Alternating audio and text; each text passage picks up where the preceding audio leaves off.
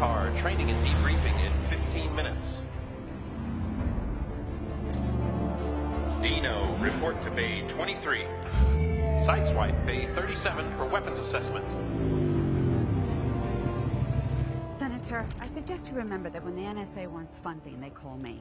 When the CIA is going to take out a target, they ask first for my permission. And when the president wants to know which members of Congress are politically vulnerable in terms of, oh, let's say, undiscovered criminal conduct, I'm the number he dials. U.S. agencies say they've been monitoring the blast. But if in fact this was a covert military strike, no nation has yet... CIA is up my ass about this mystery raid in the Middle East, so it's time to come clean. Was your unit involved? Uh, I'm not sure, ma'am. All right, guys, this is how you do a Decepticon head kill shot. As Director of National Intelligence, I'm a really big fan of intelligent answers. I, I can't really tell you definitively. These Autobots are like teenage kids. They like to sneak out of the house every once in a while. Colonel Lennox, are you in command or are you Yes, ma'am, I am. not? Stop with the ma'am. Enough with the ma'am. Do I look like a man? No, ma'am. Yeah, yes, ma'am, yes. This gun is my perfect invention, Ironhide. Right. Oh, good. They're here. My name's Que. I do hope you have answers for him. I've never seen him so upset. Optimus, you remember Charlotte Mearing? Our Director of National Intelligence? He's in a bad mood. He's not talking to anybody today. What is this? The silent treatment? We've seen that, and this is not that. Definitely not. This is worse. Prime, make something of yourself. He's pissed.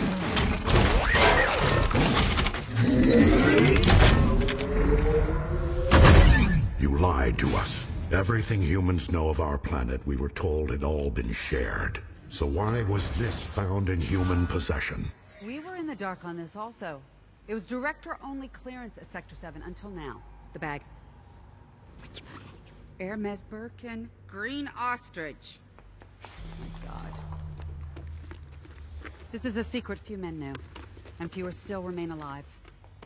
Allow me to please introduce to you two of NASA's founding mission directors and astronaut Dr. Buzz Aldrin, one of the first two men to step foot on the moon.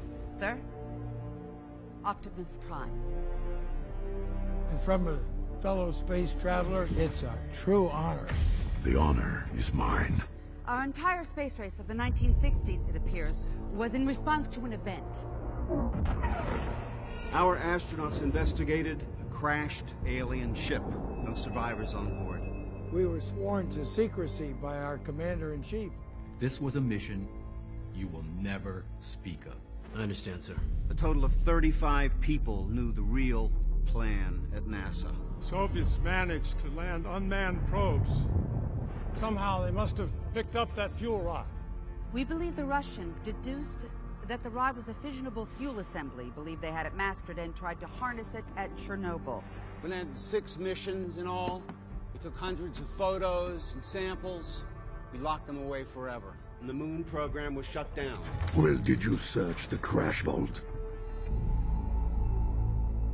The ship's name was the Ark. I watched it escape Cybertron myself. It was carrying an Autobot technology which would have won us the war. And its captain.